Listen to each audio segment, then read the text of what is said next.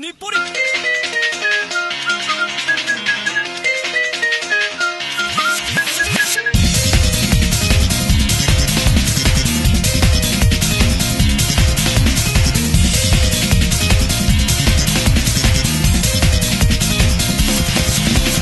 自問自答無限期がやばいぜ調和症に乗り上げたい戦闘力から新たな痛みを共有したがる情報バイパス収束できない。不条理説水と差別噴出妄想で振られ前方不注意顔面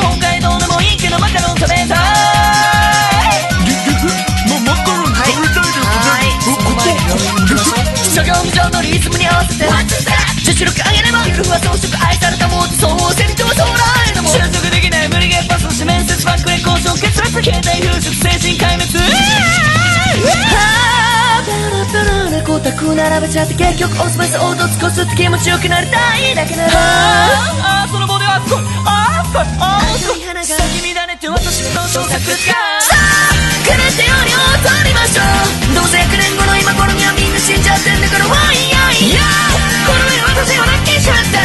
もっと激しく脳汁分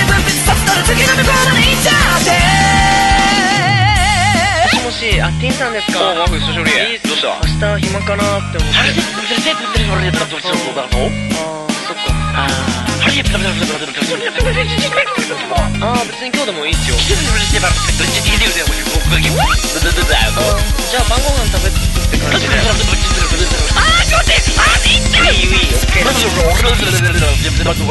はーい。じゃあ7時に新宿で。了解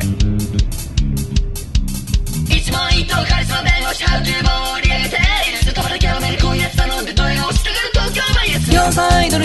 弱小祭りどっかし恋愛 NG 小悪魔メイクで触覚生やして3時のおやつはマカロン食べます。まマカロンマカロンマカロンマカロンなマカロンなあ短い焼き肉くぐって到着